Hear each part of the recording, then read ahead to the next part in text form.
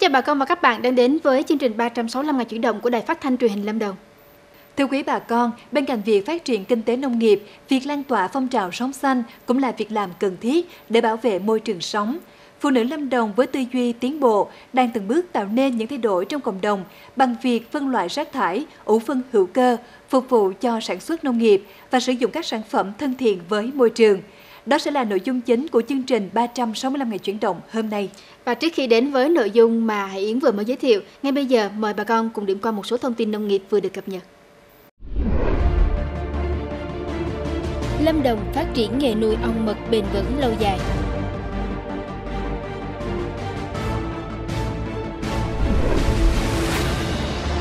Phát huy giá trị kinh tế cao từ cây bơ giống mới, bơ ong tỉnh, chuẩn bị 3.000 cây bơ giống cung cấp cho thị trường. Cuối năm, nhiệt độ xuống thấp, các địa phương đã lên phương án chống rét cho người, vật nuôi và cây trồng. Hà Nam xuất hiện ổ dịch viêm da nổi cục trên đàn vịt nuôi.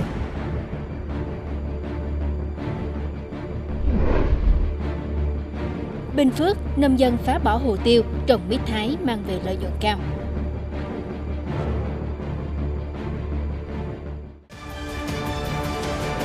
Thưa bà con, những năm gần đây thị trường mật ong đang sôi động trở lại. Vì thế ở một địa phương có nhiều lợi thế từ tự nhiên, đa dạng các loại hoa như Lâm Đồng, nghề nuôi ong cũng được người dân đầu tư nhiều hơn.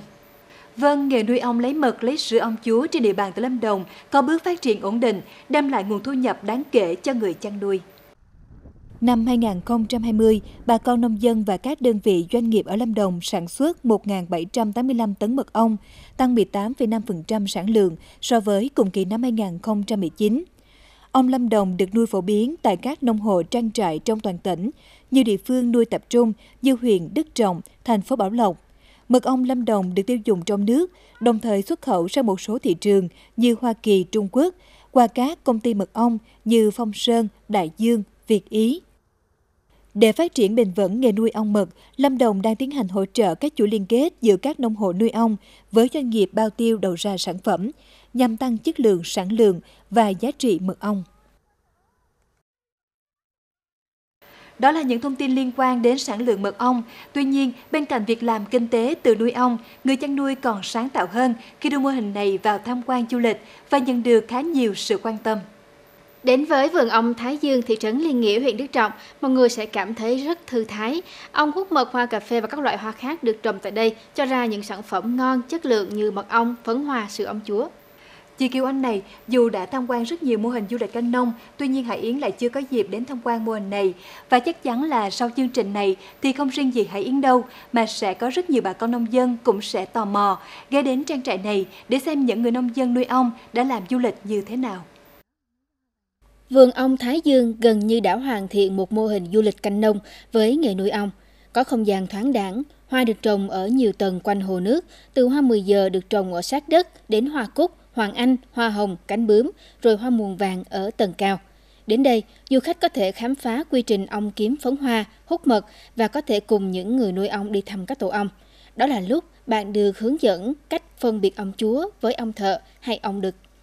Mỗi một chú ong trong quá trình lao động sẽ tạo ra ba loại sản phẩm, hút mật hoa để tạo mật, tiết sữa để nuôi ấu trùng và thu phấn hoa để tạo những hạt phấn. Trong không gian của hai dãy nhà trải nghiệm là nơi khách sẽ cùng công nhân thực hiện một số hoạt động của nghề làm ong. Chẳng hạn cấy ấu trùng để tạo sữa ong chúa. Ấu trùng do ong chúa đẻ trứng nở ra, khi ấu trùng được 3 ngày tuổi sẽ được cấy vào cốc cúp nhỏ và được bỏ lại vào đàn ong. Các ấu trùng sẽ được ong thợ tiết sữa nuôi lớn. 4 ngày sau, sữa đầy các cốc, người nuôi ong sẽ cắt đứt quá trình hình thành ong chúa của ấu trùng và thu được sữa ong chúa. Thưa quý bà con, đến vườn ong để nghe tiếng bay vì vù, để xem chúng làm việc cần mẫn như thế nào, hay để thưởng thức các sản phẩm bổ dưỡng từ ong, chắc chắn tất cả đều là những trải nghiệm thú vị. Thưa bà con, chuyển sang một thông tin liên quan đến cây bơ giống có trọng lượng lên đến 1,2 kg một quả, có giá cao hơn nhiều so với các giống bơ khác. Đó là giống bơ ông tỉnh. Thời điểm cuối năm 2020 này, trang trại đã có sẵn 3.000 cây bơ giống. 2 phần 3 số lượng cây giống này đã được đặt hàng trước và chuẩn bị xuất vườn. Bơ ông tỉnh đã cho thu hoạch 6-7 năm nay, mỗi năm thu hoạch gần 2 tạ một cây, với thu nhập trung bình khoảng 15 đến 20 triệu đồng một cây. 20 cây bơ giống cho năng suất cao của gia đình ông Phạm Văn Tĩnh trong thời gian qua đã thu hút sự chú ý của nhiều nông dân trên địa bàn. Với mong muốn không chỉ phát triển kinh tế từ việc bán cây giống bơ, mà còn đưa sản phẩm này ra thị trường thế giới. Vừa qua, ông Phạm Văn Tĩnh đã hoàn thành đăng ký và được công nhận nhãn hiệu từ Bộ Nông nghiệp Phát triển Nông thôn. Hiện tại, trang trại bơ của ông Phạm Văn Tĩnh ở tổ 26 Liên Nghĩa Đức Trọng đã ghép thành công và chuẩn bị giao cây giống cho nông dân. Trong 3.000 cây giống bơ hiện có, có 2.000 cây đã được các nông dân đặt hàng từ trước. Với năng suất và chất lượng vượt trội so với các giống bơ trên thị trường, quả có trọng lượng nặng, chắc thịt, vừa đủ độ béo, cuốn to, cây có sức chống chịu tốt. Giống bơ này đang được bà con nông dân địa phương tìm mua để phát triển kinh tế gia đình.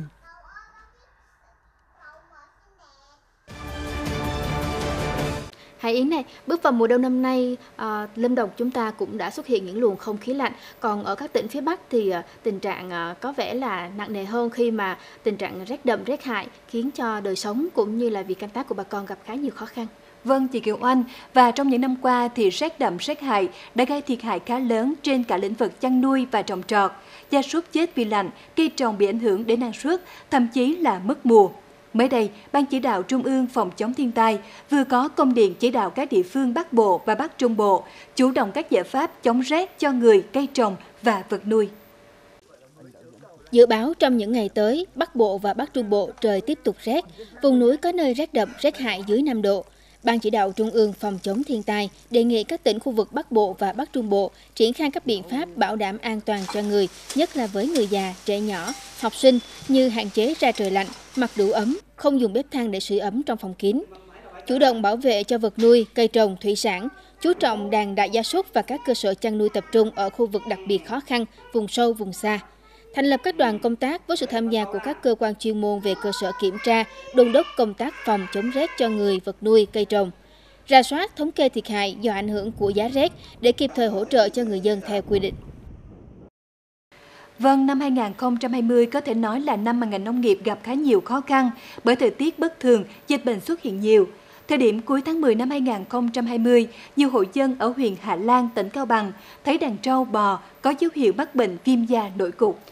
Còn tại Hà Nam, ngay thời điểm này, Ủy ban nhân dân thị xã Duy Tiên đã có quyết định công bố dịch bệnh viêm da nổi cục trên đàn gia súc tại phường Duy Hải. Địa phương đang tuyên truyền người dân cách ly đàn trâu bò mắc bệnh nghi nhiễm với những con còn khỏe mạnh để theo dõi và hạn chế lây lan dịch bệnh. Chi cục chăn nuôi thú y tỉnh Hà Nam cho biết, kết quả mẫu xét nghiệm đối với hai con bò của gia đình ông Vũ Văn Hòe và ông Lê Văn Liêu ở phường Duy Hải, thị xã Duy Tiên đã xác định dương tính với bệnh viêm da nổi cục. Ngày 7 tháng 12, Ủy ban Nhân dân thị xã Duy Tiên đã có quyết định công bố dịch bệnh viêm da nổi cục trên đàn gia súc tại phường Duy Hải. Cơ quan chuyên môn đã tiêu hủy hai con bò bị bệnh, đồng thời bao vây, xử lý môi trường ổ dịch và các khu vực nghi ngờ. Chính quyền địa phương đã thành lập các chốt kiểm soát, kiểm tra, ngăn chặn việc vận chuyển trâu bò và sản phẩm trâu bò ra vào khu vực có dịch, tổ chức rà soát, kiểm kê đàn trâu, bò trên địa bàn – vận động người chăn nuôi cam kết không bán chạy, giết mổ hay vứt xác trâu bò chết ra môi trường. Thưa bà con, Lâm Đồng là địa phương những năm gần đây phát triển mạnh về các loại cây ăn trái như dâu tây, bơ, mít, cam. Và ngay sau đây mời bà con nông dân cùng tham khảo mô hình trồng mít mang lại hiệu quả cao tại Bình Phước, một địa phương giáp ranh với Lâm Đồng. Vâng, ở xã Lộc Hòa, huyện biên giới Lộc Ninh, tỉnh Bình Phước, ai ai cũng biết ông Trần Minh Chánh. Mỗi năm, việc trồng mít đã mang đến cho gia đình ông thu nhập khá cao. Và thay vì mở rộng diện tích cây cao su, hồ tiêu như nhiều hộ khác ở địa phương, ông Chánh lại chọn cây mít để trồng. Và cách chăm sóc đặc biệt, mít đã cho chất lượng ngon, có đầu ra ổn định quanh năm. Năm 2005, ông Trần Minh Chánh quyết định chuyển gần 10 hecta đất trồng cà phê sang xà cừ sang trồng mít. Chỉ hơn 2 năm, vườn mít của gia đình ông Chánh đã mang lại nguồn thu nhập hàng trăm triệu đồng. Ngoài ra, sau khi vườn mít 10 hecta đang mang lại lợi nhuận không nhỏ, khoảng 20.000 trụ hồ tiêu đang thời kỳ được giá cũng dần dần được thay bằng những gốc mít vì chi phí đầu tư thấp hơn. Đến nay, diện tích đất của gia đình ông Chánh đã có 17 hecta trồng mít, trong đó có 13 hecta mít lá bàn và 4 hecta mít thái siêu sớm. Nhà nông này cho biết cây mít vốn đầu tư không nhiều, dễ trồng và dễ chăm sóc. Mỗi hecta trồng cây mít với khoảng 300 gốc, ban đầu chi phí đầu tư 50 triệu đồng một hecta, khoảng 2 năm sau bắt đầu cho thu hoạch. Với 17 hecta trong vụ mùa vừa qua, sau khi trừ chi phí đem lại lợi nhuận cho gia đình ông hơn 1,5 tỷ đồng.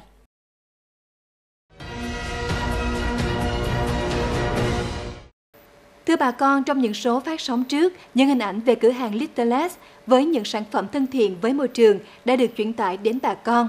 Và thông qua số điện thoại cũng như email của chương trình, Hải Yến cũng được biết là bà con, đặc biệt là chị em phụ nữ đang rất quan tâm đến những sản phẩm này. Việc sử dụng những sản phẩm thân thiện với môi trường là hành động đẹp và cần được lan tỏa nhiều hơn trong cộng đồng. Và phụ nữ Lâm Đồng đã và đang tạo nên những hiệu ứng tốt giúp mọi người thay đổi thói quen trong sinh hoạt hàng ngày, hướng tới cuộc sống xanh, thân thiện với môi trường. Phần cuối của chương trình 365 ngày chuyển động kỳ này, mời bà con và các bạn theo dõi ghi nhận ngay sau đây.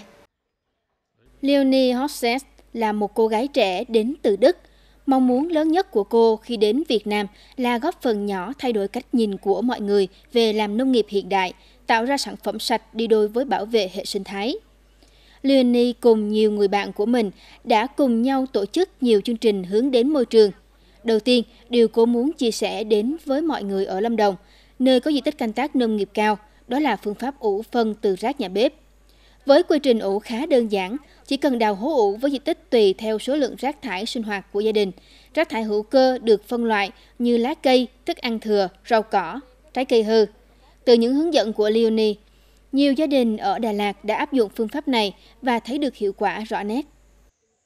Um, Chúng tôi đã hướng dẫn cho hơn 20 phụ nữ ở Lâm Đồng và họ đã tận dụng được đáng kể một lượng rác thải hàng ngày từ nhà bếp và làm ra được loại phân bón hữu cơ rất tốt phục vụ cho việc trồng rau và cây xanh. Bên cạnh những cách làm sáng tạo của nhiều chị em phụ nữ trong việc xử lý phân loại rác thải tại nhà để giảm thiểu sử dụng túi ni lông và các loại rác thải nhựa hàng ngày, Hiện nay, nhiều chị em phụ nữ cũng từng bước thay đổi thói quen trong sinh hoạt hàng ngày như sử dụng làn nhựa đi chợ hay ưa chuộng các loại túi sách được làm từ túi vải thân thiện với môi trường, tạo nên một trào lưu mới trong phụ nữ và giới trẻ hiện nay. Dạ em thấy này vừa hợp xu hướng vừa thân thiện vừa đẹp luôn, là vừa cầm đi chợ rất là tiện. Em thấy rất là tiện, rất là không cần túi ni lông để cái này cũng được. Để khẳng định vai trò của phụ nữ trong việc chung tay bảo vệ môi trường, trong nhiều năm qua, Hội Liên hiệp Phụ nữ các cấp trong tỉnh đã triển khai hiệu quả các phong trào, cuộc vận động 503 sạch, đề án 712 của Thủ tướng Chính phủ về thí điểm hoàn thiện và nhân rộng mô hình bảo vệ môi trường trong xây dựng nông thôn mới. Đặc biệt trong năm nay, Lâm Đồng là một trong hai địa phương của cả nước cùng với Hải Phòng được Trung ương Hội Liên hiệp Phụ nữ Việt Nam chọn thí điểm triển khai phát động chương trình Phụ nữ sống xanh. Một lần nữa khẳng định sự quyết tâm của phụ nữ Lâm Đồng trong việc bảo vệ môi trường, xây dựng nông thôn mới, đô thị văn minh. Trong thời gian vừa qua thì Lâm Đồng cũng là một trong 6 tỉnh triển khai cái đề án 712 về um, góp phần xây dựng nông thôn mới thông qua các cái hoạt động bảo vệ môi trường dựa vào xã hội hóa. Thế thì uh, chính vì vậy mà chúng tôi thấy rằng là đây là một cái địa bàn mà đã có đội ngũ truyền thông viên, họ đã được đào tạo, họ đã hiểu về vấn đề và vì thế nên họ có thể đi tuyên truyền được thuận lợi hơn. Hơn thế nữa thì Lâm Đồng cũng là một cái địa bàn mà trong thời gian vừa qua cái công tác xây dựng nông thôn mới cũng có rất là nhiều những cái uh, nỗ lực rất là và chắc chắn là địa phương cũng có rất là nhiều những cái cam kết về cái việc là giảm cái rác thải nhựa ra môi trường để mình có một cái nền nông nghiệp sạch, một cái nền nông nghiệp an toàn và chính vì vậy chúng tôi tin tưởng là với cái sự góp phần của hội phụ nữ thì cũng sẽ cùng với lại à, cấp ủy chính quyền địa phương sẽ tạo nên sự thay đổi trên địa phương. Phong trào phụ nữ sống xanh đang được từng hội viên Hội Phụ nữ Lâm Đồng cụ thể hóa trong từng hành động, việc làm rất nhỏ trong đời sống sinh hoạt hàng ngày, đặc biệt là bảo vệ môi trường sản xuất nông nghiệp hữu cơ, dù chỉ là những công việc nhỏ nhưng lại có ý nghĩa rất lớn để tạo nên một lối sống văn minh, hiện đại và thân thiện phù hợp với nhu cầu phát triển hiện nay. Những thông tin hữu ích vừa rồi cũng đã khép lại chương trình 365 ngày chuyển động hôm nay. Quý vị và bà con quan tâm, đóng góp, chia sẻ với chương trình, vui lòng gửi email về chương trình tại địa chỉ 365 ngày chuyển động ltv a.gmail.com hoặc gọi điện thoại về số 02633 829 930. Đến đây thì Hải Yến và Kiều Anh xin nói lời chào tạm biệt.